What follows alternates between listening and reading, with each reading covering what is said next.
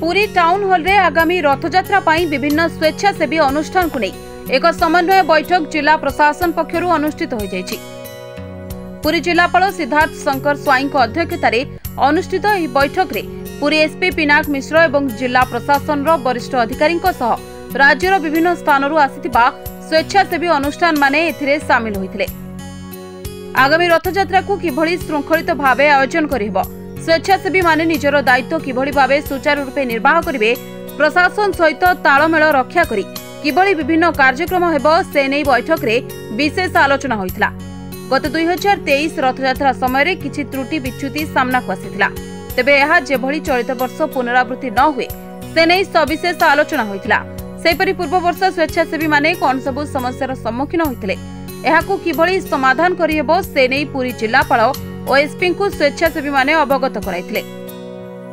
ତେବେ ସମସ୍ତଙ୍କ ସହ ସମନ୍ୱୟ ରଖାଯାଇ ସୁଚାରୁ ରୂପେ କାର୍ଯ୍ୟ କରାଗଲେ ଚଳିତ ରଥଯାତ୍ରା ସଫଳ ହୋଇପାରିବ ବୋଲି ସ୍ୱେଚ୍ଛାସେବୀମାନେ କହିଛନ୍ତି।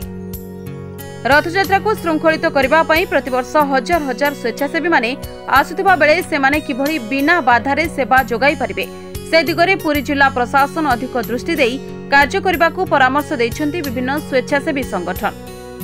ଆମର ରଥଯାତ୍ରା ଯେଉଁ ସ୍ୱ- ସ୍ୱଚ୍ଛାସେବୀ ଅନୁଷ୍ଠାନ ଗୁଡ଼ିକ ସେବା ପ୍ରଦାନ କରନ୍ତି ଆଜି ପ୍ରଥମ ସମନ୍ୱୟ ବୈଠକ ତାଙ୍କ ସହିତ କରାଗଲା ଯେଉଁଥିରେ କି ତାଙ୍କୁ ବିଗତ ବର୍ଷ ଭଳି ଆମର ରଥଯାତ୍ରା ବେଳେ ସହଯୋଗ କରିବା ପାଇଁ ରିକ୍ୱେଷ୍ଟ ବି କରାଗଲା ତତ୍ ସହିତ ଯେ ଆମର ବିଭିନ୍ନ ଲର୍ଣ୍ଣିଂସ ଅଛି ବିଗତ ରଥଯାତ୍ରାରେ and ତା ପୂର୍ବ ରଥଯାତ୍ରାରେ ତାଙ୍କ ସହିତ ସେୟାର କରାଗଲା And ତତ୍ ସହିତ ଅ, ସ୍ୱେଚ୍ଛାସେବୀ ଅନୁଷ୍ଠାନ ଗୁଡ଼ିକ ଯେଉଁ ଫାଉଣ୍ଡେସନ୍ସ ବିଭିନ୍ନ ଫିଲାନ୍ଥ୍ରପିକ୍ ଅର୍ଗାନାଇଜେସନ୍ ଅଛନ୍ତି ସେମାନେ ନିଜର ମତାମତ ବି ଦେଇଥିଲେ ସଜେସନ୍ ଦେଇଥିଲେ କେମିତି ଆମେ ବେଟର ୱେରେ କରିପାରିବା। ଆଣ୍ଡ ଆଗାମୀ ସମୟରେ ଆମର ଡିପାର୍ଟମେଣ୍ଟ ୱାଇଜ୍ ସେ ମିଟିଂଟି ହେବ। ଯେହେତୁ ସେମାନେ ବିଭି- ବିଭିନ୍ନ ଅ, କ୍ଷେତ୍ରରେ କରନ୍ତି ଖାଦ୍ୟ ଯୋଗାଇବାର କୁହନ୍ତୁ ମେଡିକାଲ କୁହନ୍ତୁ ଷ୍ଟ୍ରେଚର ସେବା କୁହନ୍ତୁ ଆମର ଅ, ଲୋକଙ୍କୁ ମ୍ୟାନେଜ କରିବା କୁହନ୍ତୁ ବିଭିନ୍ନ ସେବା ଯୋଗାନ୍ତି। ତ କନସର୍ନ ଡିପାର୍ଟମେଣ୍ଟ ତାଙ୍କ ସହିତ ଆଉ ବିସ୍ତାର ବିସ୍ତାରରେ ତାଙ୍କ ସହିତ ଆଲୋଚନା କରିବ। ମହାପ୍ରଭୁଙ୍କ ରଥଯାତ୍ରା ଆଗାମୀ ଜୁଲାଇରେ ଅନୁଷ୍ଠିତ ହେବାକୁ ଯାଉଛି।